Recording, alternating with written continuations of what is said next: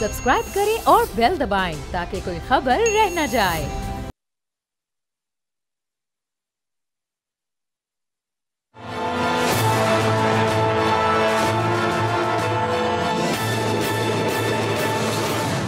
असल मैं और बाब जहांगीर। आप देख रहे हैं प्रोग्राम तजिया पाकिस्तान तहरीक इंसाफ इस वक्त बड़ी अपोजिशन जमात है और हुकूमत के ख़िलाफ़ वो सड़कों पर आना चाहती है, अपनी तहरीक चलाना चाहती है, लेकिन हम ये देख रहे हैं कि इस जमात के अपने अंदर भी एक बयानी का थोड़ा सा तजाद दिखाई दे रहा है। इंटरनल मामला कुछ ऐसे चल रहे हैं कि एक रानुमा दूसरे रानुमा पर इल्ज़ाम लगा रहा है। शेर अफजल मरवत साहब की जानब से ये बयान सामने आए कि उमर अयूब, जो कि पाकिस्तान तरीके इंसाफ के बड़े सीनियर मेंबर हैं, और शिबली फराज साहब मुलाकात उन्हें नहीं करने दे रहे, उनके बानी से। फिर जो मरकज़ी तर्जुमान पार्टी के रऊफ़ हसन साहब, उनसे मुतल वो ये कह रहे हैं कि उनका जो बयान है, शेर अफजल साहब से मनसूब उसको मुकम्मल तौर पर झूठ तस्वूर किया जाए। और क्या कहा उन्होंने? ज़रा शेर अफजल मरवत साहब की ज़बानी आप खुद ही सुन लीजिए, फिर आगे गुफ्तू कर शेर अफजल मरवत साहब के इस बयान को अगर लें तो क्या रऊफ़ हसन साहब पार्टी के कुछ मखसूस मामला पर ही तर्जुमान है या फिर ओवरऑल वो पाकिस्तान तहरीक इंसाफ के जितने ही मामला हैं हर पॉलिसी को वो कवर करते हैं और हर मामले के वो तर्जुमान है। और फिर शेर अफजल मरवत साहब ये भी कह रहे हैं कि पी टी आई की मौजूदा क़्यादत के साथ में काम नहीं कर सकता, इसका बाकायदा तौर पर उन्होंने अब ऐलान किया तो उनका मुस्तबिल क्या है? इससे पहले भी कई कॉन्ट्रोवर्शल बयान उनके ऐसे सामने आ चुके हैं। जिस पर पार्टी ने थोड़ा हल्का ही हाथ रखा है ख्वाजा आसिफ से उन्होंने मुलाकात भी की सऊदी अरब से मुतलिक भी उनका एक बयान सामने आया था। तो बहुत सारे ऐसे मामला हैं जिस पर हम गुफ्तू करेंगे और दावत दी हमने। रऊफ़ हसन साहब को, जो कि पाकिस्तान तरीके इंसाफ के मरकज़ी तर्जुमान है। बहुत शुक्रिया रऊफ़ हसन साहब, प्रोग्राम के लिए आपने वक्त निकाला। रऊफ़ हसन साहब, ये बताएगा कि शेर अफजल मरवत साहब ये कह रहे हैं कि आप उन मामला में भी तर्जुमान बन जाते हैं जिनसे आपका कोई लेना देना नहीं होता।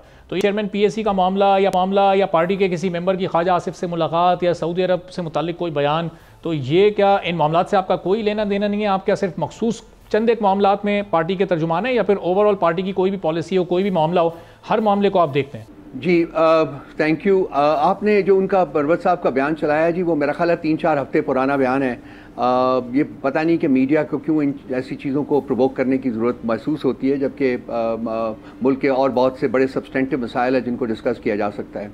मैं पार्टी का तर्जमान हूँ जी और पार्टी की हर पॉलिसी मैटर को हैंडल करता हूँ।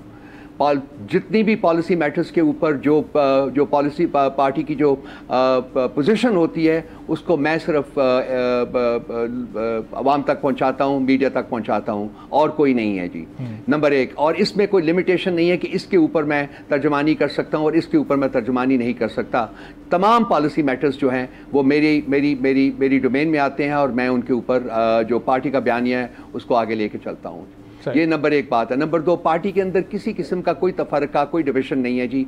एक शख्स की वजह से अगर कोई एक इम्प्रेशन क्रिएट हो रहा है तो वो भी ख़त्म हो गया है। वो उन्होंने खान साहब से मिलने की कोशिश किया खान साहब अभी उनसे नहीं मिले हैं। शायद फ्यूचर में किसी वक्त वो उनसे मिल लें। जो पार्टी का प्रॉब्लम ठहरा हुआ था पैक का चेयरमैन वो भी सॉर्ट आउट हो गया है। वो पोलिटिकल कमेटी ने उसको सॉर्ट आउट कर दिया है। उसमें वकास शेख साहब को नॉमिनेट कर दिया गया है। मामला अब वो बहुत से बहुत आगे जा चुके हुए हैं। तो मेरा ख्याल पास्ट में जाके वो कहते हैं ना कब्रों को डिग करने की बजाय मेरा ख्याल मीडिया को भी चाहिए कि वो आगे की तरफ़ बढ़े हम्म। हम एक बहुत यूनिफाइड किस्म की पोलिटिकल पार्टी हैं बहुत बड़ी पोलिटिकल पार्टी हैं बहुत पावरफुल पोलिटिकल पार्टी हैं।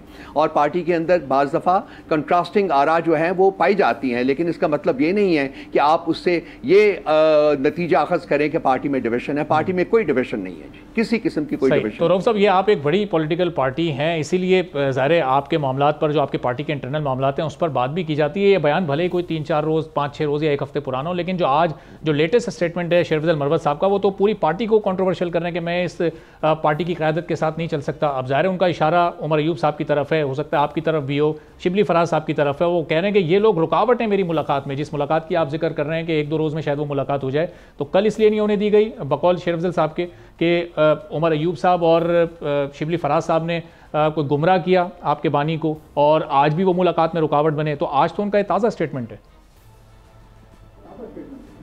देखिए, इसमें कोई सच्चाई नहीं है। हम, जो पोलिटिकल लीडरशिप है, वो हर जुमेरात को मुलाकात कर सकती है। खान साहब से मेरी मुलाकात उनके साथ पिछली जुमेरात को हुई थी। उसमें पार्टी के जो सेक्रेटरी जनरल हैं, वो भी मौजूद थे।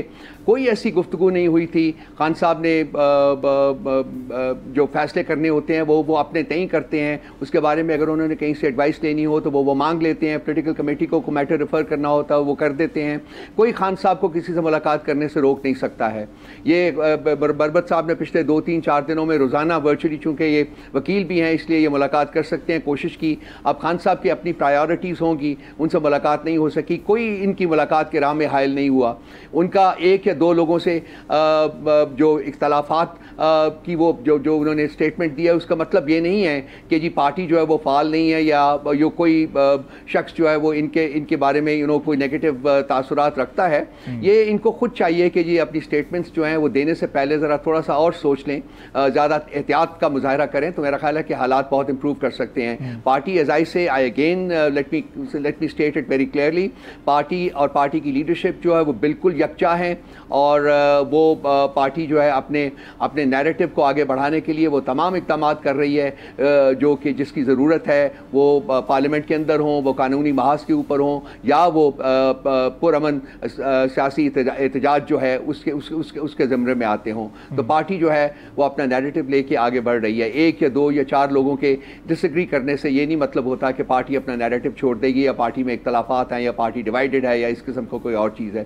किसी किस्म का कोई कोई डिविशन पार्टी में मौजूद नहीं है we are all together with Khan Sahab और उनके नैरेटिव को लेके आगे मरवत साहब का क्लेम ये है कि जिस दौर में बुरा वक्त था पार्टी का या बहुत सारे लोग रोपोश थे या गिरफ़्तार थे या मंजर यहाँ पर नहीं थे तो उस वक्त उन्होंने उन्होंने ये टर्म भी इस्तेमाल की कि मैंने इस मुर्दा घोड़े में जान डाली है और उस वक्त पार्टी में कोई मौजूद नहीं था तो मैं मंजर यहाँ पर आया और पार्टी को मैंने एक्टिव रखा है। तो अब उनको क्रेडिट चाहिए क्या उनको डिसक्रेडिट किया जाता है या वो वो रिस्पेक्ट उनको नहीं मिल पा रही?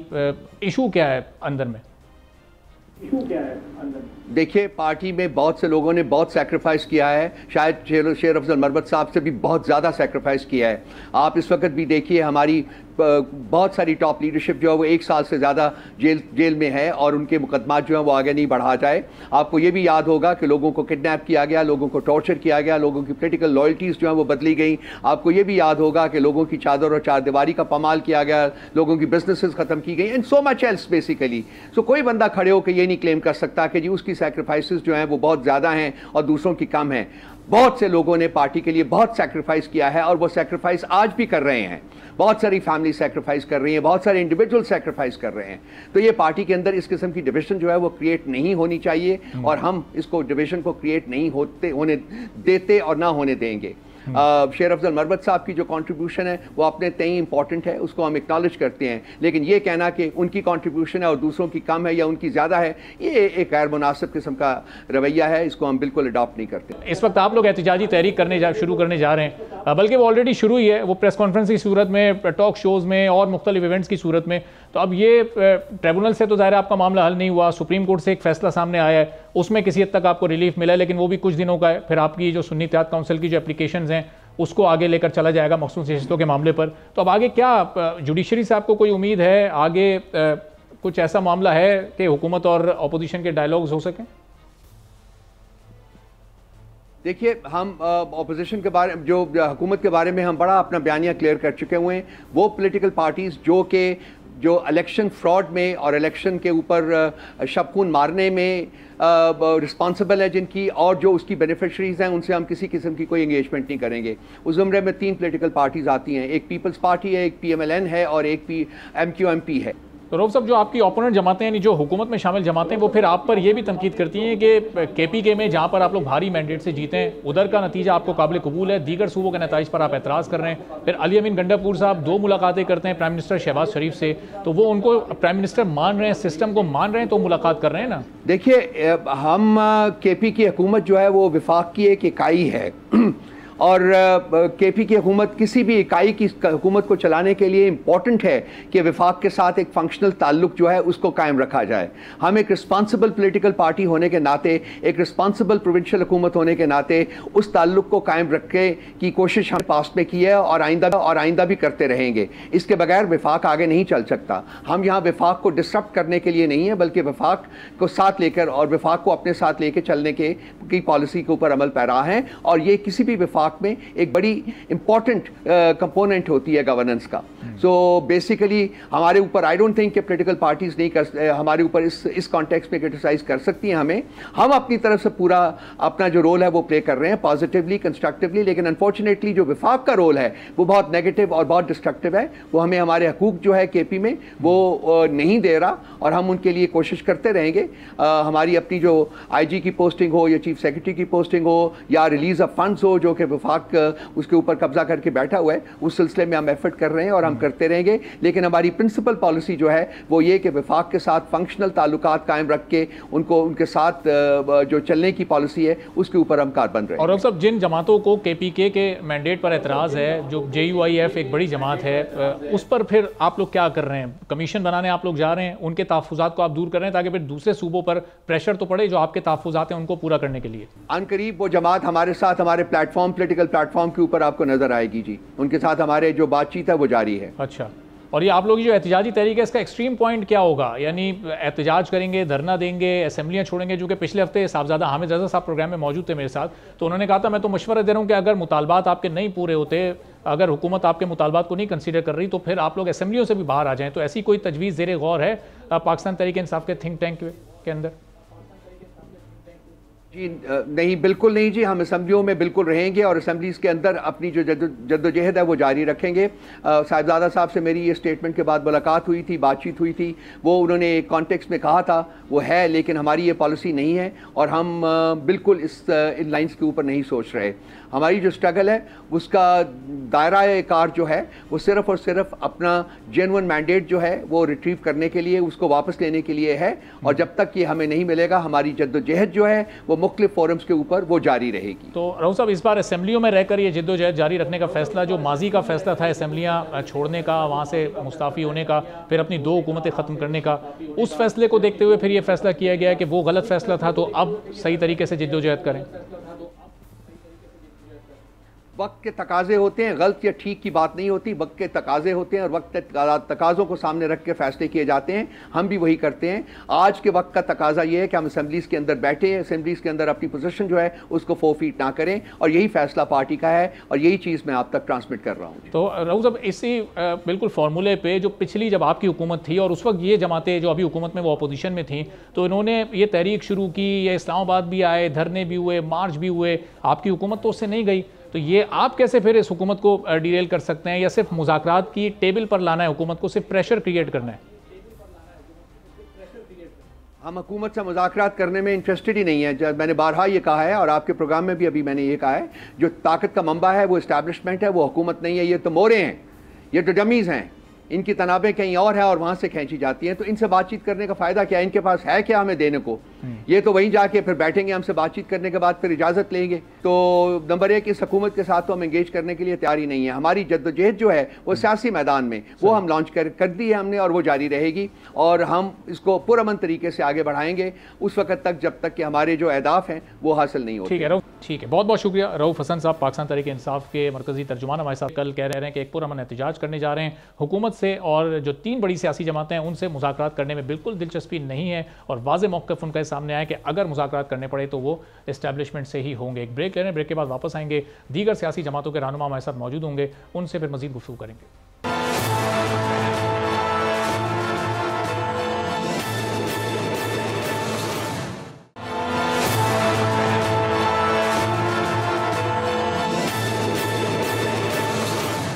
एक बार फिर आपको प्रोग्राम में खुश आमदीद कहेंगे और आठ फरवरी के इंतबात पर बहुत सारी सियासी जमातों को तहफात है और मौलाना फजलरहमान की जमात वो पहली जमात है कि सबसे पहले सड़कों पर आई को पर आई।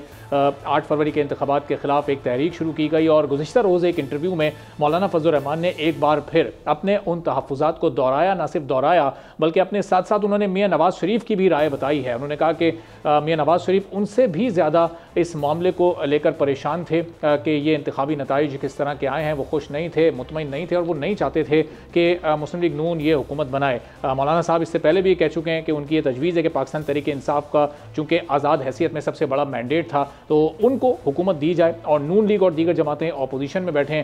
और साथ साथ उन्होंने ये भी कहा कि इस हुकूमत में शामिल होने के लिए उन्हें न सिर्फ़ सेंटर बनने की पेशकश की गई, बल्कि उन्हें चेयरमैनशिप भी, सेनेट की चेयरमैनशिप भी ऑफ़र की गई, लेकिन जब उन्होंने इनकार किया तो फिर उसके बाद यूसुफ रजा गिलानी साहब मैदान में आए। नौ मई के हवाले से भी मौलाना साहब में इजहार ख्याल किया, किन ख्याल का इजहार किया। ज़रा पहले ये गुफ्तु आप उनकी सुन लीजिए, फिर आगे चलकर मजीद बात करते हैं। मौलाना साहब ने इस गुफ्तु से आगे बढ़कर ये भी बताया कि जो एहतजाज उनका इस वक्त चल रहा है, कल भी उनका एक एहतजाज है, वो उसका उस नौ मई के वाक़े से या उस तनाजुर में उसका कोई मायने नहीं है और उससे कोई ताल्लुक नहीं है, बल्कि जो इलेक्शन के नतज हैं, वो उस पर वो उस पर अपनी एहतजाजी तहरीक को लेकर आगे चल रहे हैं। जो मौलाना साहब की ये तजवीज़ है कि अगर पाकिस्तान तरीके इंसाफ को हुकूमत दी जाए तो फिर उससे बड़ी बड़ी जो जमातें हैं ज़ाहिर उनको अपोजिशन में आना पड़ेगा और फिर उस पर मौलाना साहब की अपनी पोजीशन क्या होगी, क्या वो अपोजिशन में बैठेंगे या फिर वो हुकूमत में आना उस वक्त पसंद करेंगे और जो मैंडेट पर उनके जो तहफ़ात हैं, वो फिर किस तरह से दूसरे पे तजवीज़ ही इन तमाम मसाइल का हल है। इस पर हम गुफ्तू करेंगे। मुफ्ती किफ़ायतुल्ला साहब जमयतुल्मा इस्लाम के सीनियर रहनुमा हमारे साथ मौजूद हैं। मिर्ज़ा अख्तियार बेग साहब, पाकिस्तान पीपल्स पार्टी के सीनियर रहनुमा हमारे साथ मौजूद हैं। तो मुफ्ती साहब, ये ज़रा ये मौलाना साहब की तजवीज़ है कि पाकिस्तान के पाकिस्तान तरीके इंसाफ का, चूँकि सबसे बड़ा मैंडेट था, उनको दे दिए जाए, उनको हुकूमत, उनका मुतालबा है या इस पर अमल दरामद करवाना वो चाहते हैं, इस वक्त जो बुनियादी मुतालबात हैं आपके, वो हैं क्या?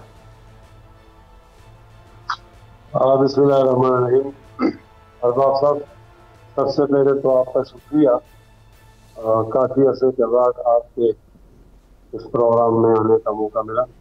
मैं आपका शुक्रगुजार देखिए हमारा मौका उसूली मौके होता है। हम आजकल पैदा नहीं हुए इस इलाके में हम बहुत अरसे से हैं कि हमें पाकिस्तान से पहले थे हमारा मौके उसूली होता है। लोग उसको समझते में जरा ताखिर हो जाती है। हम्म। हमारा ये मौकफ है कि न हो और आवाम को हक है कि वो अपना हुक्मरान चुने। आप उनको हुक्मरान चुनने का मौका दो। तो ये हमारा मौकफ उन्नीस सौ सत्तर में भी था। जब हम कह रहे थे कि मुजीब रहमान को हुकूमत दो। अब किरदार तो बदलते रहते हैं। लेकिन हमारा मौकफ तो नहीं बदला। उस वक्त मुतासरा फरीक थी वो मुजीब रहमान तो हम उसके हक में बोलते थे। हम्म। फिर जब दो हज़ार अठारह का इलेक्शन हुआ तो हमारा ये ख्याल था कि उस वक्त मुतासरा फरीक लीग नून थी। हम्म। तो हम उसके हक में बोलते रहते भाई इन लोगों की अक्सरियत है आपने नतीजा तब्दील किया गलत किया। और आज हमारी राय ये है कि अक्सरियत की हामिल जमात जो है वो पी टी आई है।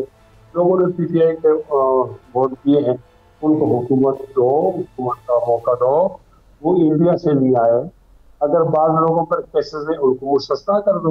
हम्म। और बाकी लोगों को हुकूमत दे दो हुकूमत दे दो उनका हक देखे एक है अकलियत और एक अक्सरियत। हम्म। अकलियत और अक्सरियत का तयन हमारे पास कोई अथॉरिटी नहीं है।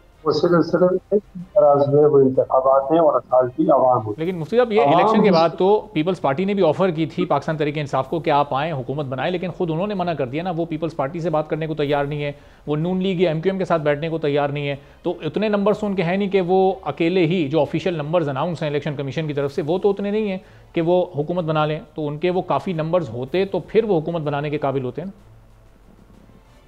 और आप देखो मैं पीटीआई का जवाब तो नहीं दे सकता।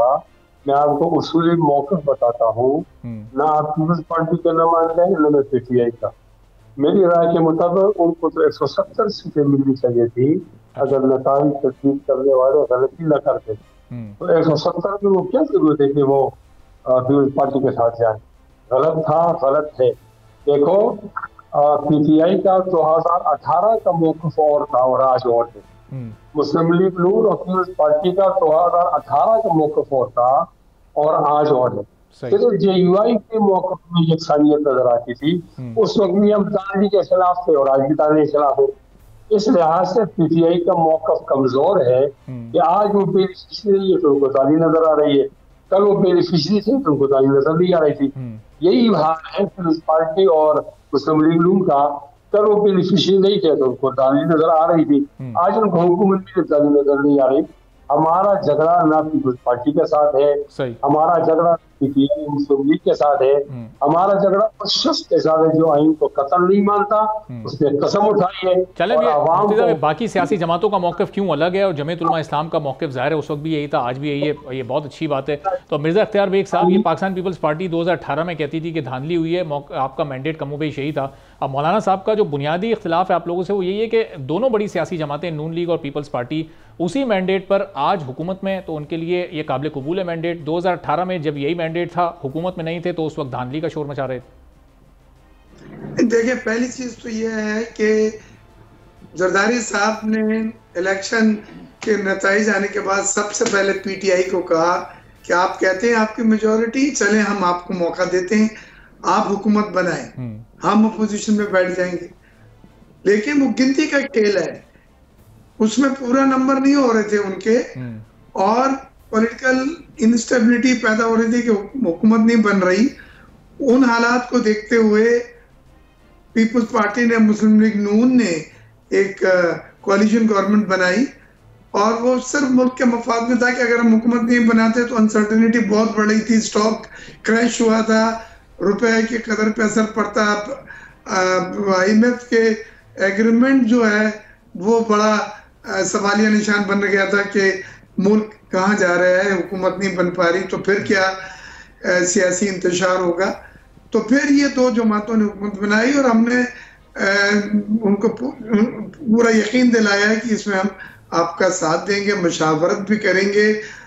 लेकिन हमने उहदे नहीं लिए आईनी उहदे तो लिए हम्म। लेकिन काबीना में हमने उहदे नहीं लिए। इसमें बजट के बाद इम्कान हैं लेकिन अभी तक पार्टी का ऑफिशियल मौके यही है कि हम हुकूमत में शामिल नहीं हो रहे अच्छा। लेकिन अगर हालात बदलते हैं कोई सूरत हाल ऐसी आती है जहाँ पे हम समझते हैं मुल्की मफाद में ऐसा करना हुआ तो पार्टी की क्यादत और ईसीसी कहेगी और यही बिलावल साहब का भी चंद दिनों पहले बयान आया था कि ईसीसी का इजलास इस बात का फैसला करे हम्म। कि हम जो काबीना है उसमें हिस्सा लेंगे या नहीं लेंगे तो हमारे यहाँ एक जमहूरी जमात है हर चीज़ सिस्टमेटिकली कानून के दायरे में रह के करते हैं लेकिन जो मौलाना साहब ने कहा था कि हम सब पोजीशन में बैठे और पीटीआई को हुकूमत बनाने दी जाए हम्म। तो ये जाती एक ख्याल एक सोच एक ख्वाहिश तो हो सकती है हम्म। लेकिन लीगली ये मुमकिन इसलिए नहीं है कि हमारे दोनों के नंबर मिला के कौमी असम्बली के उनसे बहुत ज़्यादा है। और वो हुकूमत साजी में कामयाब भी नहीं हो सके उनके रिक्वायर्ड। नंबर नहीं है। ज़ाहिर अगर वो भी हुकूमत बनाते पीटीआई भी बनाती तो वो आपको शामिल करके ही बनाते। ज़ाहिर आपके नंबर्स ऐसे थे कि पीटीआई को हुकूमत बनानी हो नून लीग को बनानी हो आपके नंबर्स की ज़रूरत थी। तो वो उन्होंने मना तो किया तो फिर नेशनल गवर्नमेंट बने। अच्छा। अरबाब साहब जहाबाज जहांगीर साहब हम तो चाहते थे कि नेशनल गवर्नमेंट बन जाए। तमाम सियासी जमातें स्टेक होल्डर्स को बोर्ड लेके मुल्क को माशी बुरान से निकालें हम्म। मुल्क में सियासी इस्तेकाम पैदा हो।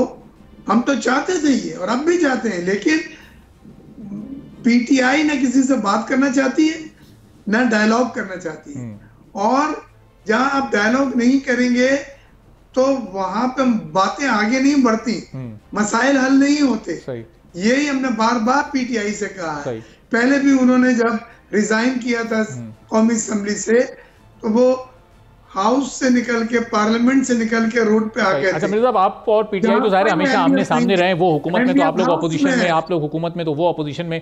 लेकिन मौलाना साहब को अभी तक आप लोग ये इस नेशनल गवर्नमेंट के लिए मनाने में क्यों कामयाब नहीं हो सके? एक छोटा सा ब्रेक यहाँ पर मैं ले रहा हूँ फिर मुफ्ती साहब के सामने भी ये नुकता रखते हैं कि अगर ये बननी थी तो मौलाना साहब इसका पार्ट क्यों नहीं है? और पीपल्स पार्टी के सामने भी फिर मिर्ज़ा साहब के सामने नुकता रखेंगे कि अभी तक मौलाना साहब को मनाने की कोशिश कामयाब क्यों नहीं हो सकी? छोटे से ब्रेक के बाद वापस आते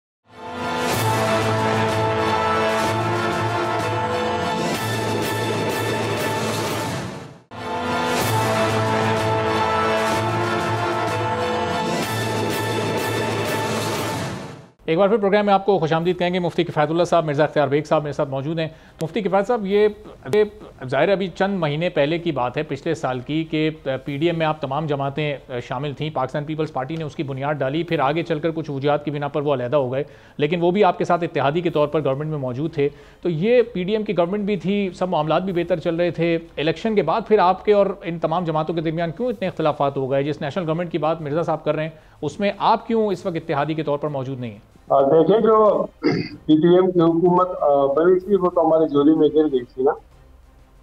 मुल्क के अंदर दो ही कुत थी, या पीटीआई या पीटीएम।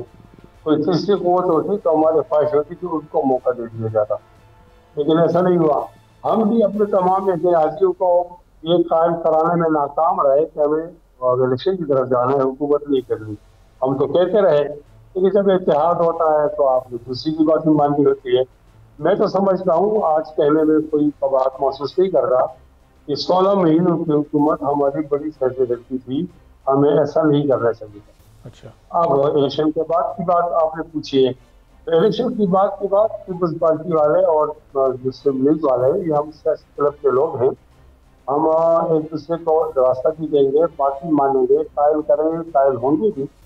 लेकिन हमारी इनसे दरखास्त है कि दानवी को दानवी कह दिया जाए। हम्म। अगर जो जुर्म है उस जुर्म को जुर्म कहा जाए शरीकी जुर्म न बना जाए। हम्म, पिछली दफ़ा हमारी कोई जात के खिलाफ नहीं थे इमरान खान साहब।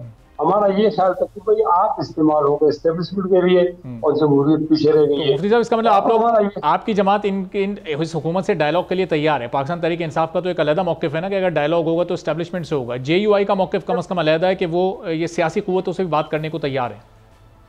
नहीं भैया आपने अपनी तरफ़ से बना दी अपनी बात हमारे मुँह में डाल के अल्लाह के बंदे नहीं मैं सवाल पूछ रहा हूँ आपसे कि क्या आप लोग तैयार हैं सियासी कुतों से बात करने के लिए? हमारा जवाब सुनो भाईजान कि हम कहते हैं कि इनकी ये गलती है कि ये मुजरिम को मुजरिम नहीं कहते अच्छा। बल्कि उनके साथ शरीक जुर्म हो गए चोरी का माल इनके यहाँ पकड़ा गया है। हम्म। तो हम तो जब तक इसलाह अहवाल नहीं होता अपनी तारीख जारी रखेंगे ताकि जुर्म करने वाले तोबा कर लें आइन बहाल हो जाए तमाम इदारे अपने दायरे में चले जाएँ और आवाम को हक हुक्मरान दे दी जाए। तो फिर हम अपनी तहरीक को रोकने पर आ, सोच सकते हैं। वरना हमारी तारीख जारी रहेगी ठीक है तो मिर्ज़ा अख्तियार बेग साहब बड़े सादा से मुतालबात हैं बड़े बुनियादी किसी भी माशरे का ये हिस्सा होते हैं कि जहाँ इंसाफ का निज़ाम हो जहाँ इलेक्शन साफ़ शफाफ हो। तो मौलाना साहब की जमात भी यूँ कह रही है कि साफ़ शफाफ इलेक्शन हो जाए आवाम ने जिसको हक हुक्मरानी दिया है उसको हुक्मरानी दे दी जाए तो हम फिर बात भी कर लेंगे और इनसे मुजाकर क्यों नहीं कर पा रहे आप लोग? हम तो हमारी डोर तो तमाम सियासी जमातों के लिए और मौलाना साहब के लिए तो खसूसी एहतराम है और जरदारी साहब। से जो ताल्लुकात हैं उनके वो सबको इल्म है। मेरे अपने मौलाना साहब से नहायत ही करीबी और अ, मेरे मोहतरम है वो। लेकिन ये जो सब चीज़ें मुतालबात हैं ये तो फिर वही है कि आपने हुकूमत को तोड़ें नए इलेक्शन नए इंतखाब की तरफ़ जाएँ दोबारा आईनी होदे तो ये तो अ, मैं समझता हूँ कि एक फ्रूटाइल एक्सरसाइज है। अ, हमने कानून के मुताबिक इलेक्शन लड़ा और जो इंतखाबात हु- हुए हैं आईनी पोजीशन पे जिसमें स्पीकर डिप्टी स्पीकर वज़ीर आज़म सदर पाकिस्तान चेयरमैन सेनेट और सेनेट का ये सब आईनी तौर पे हुआ है। इसमें दोनों पार्टियों ने हिस्सा लिया है।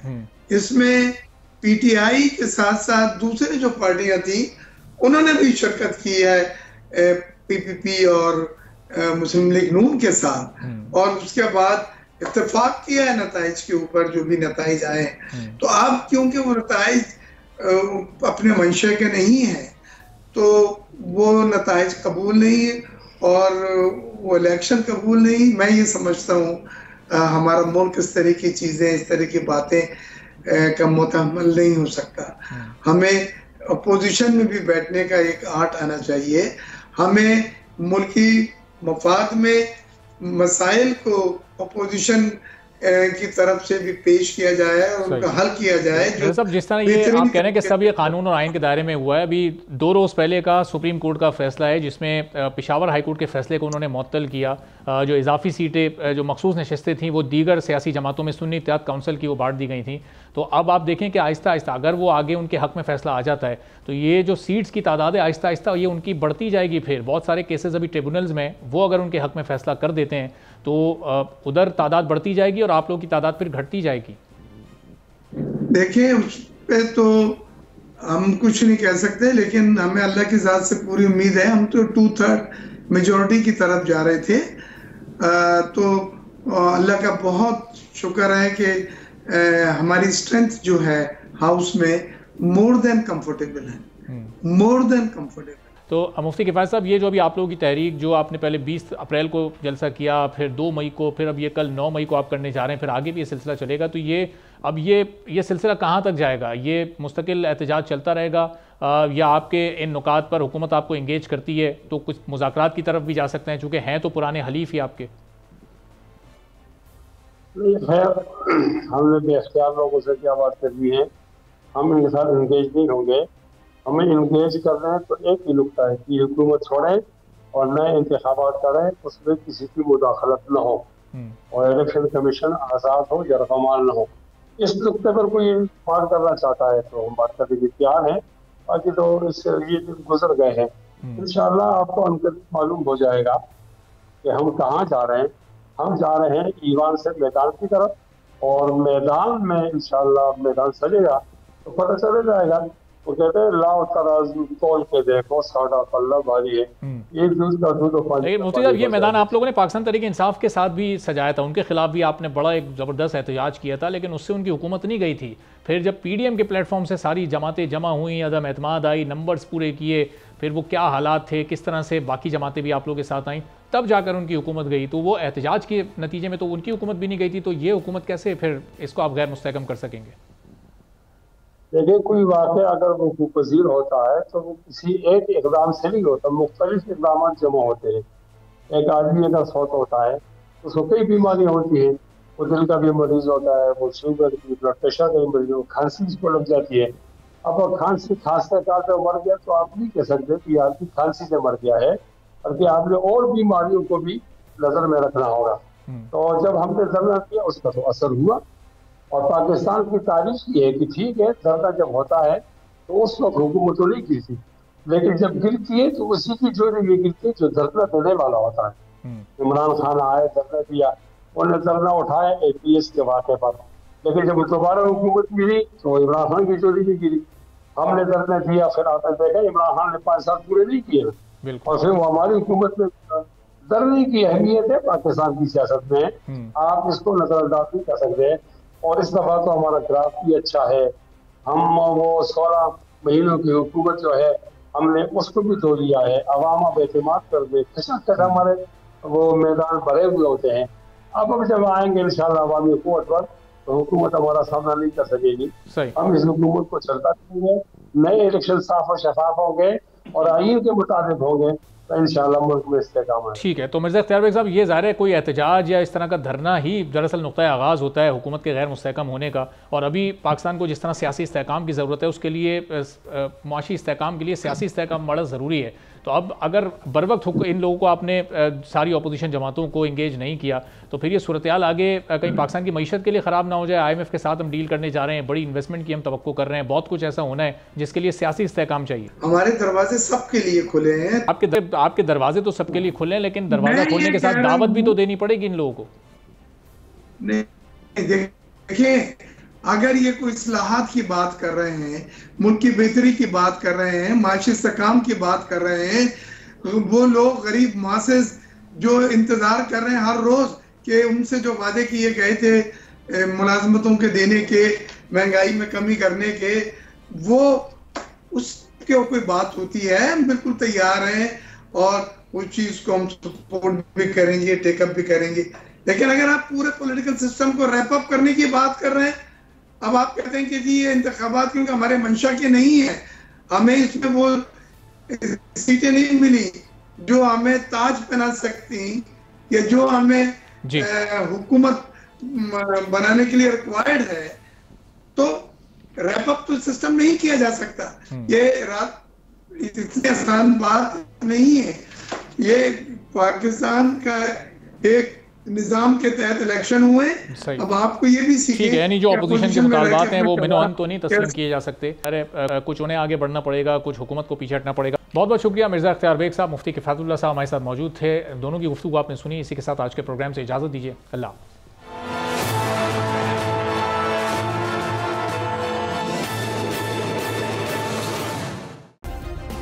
सब्सक्राइब करें और बेल दबाएँ ताकि कोई खबर रह न जाए।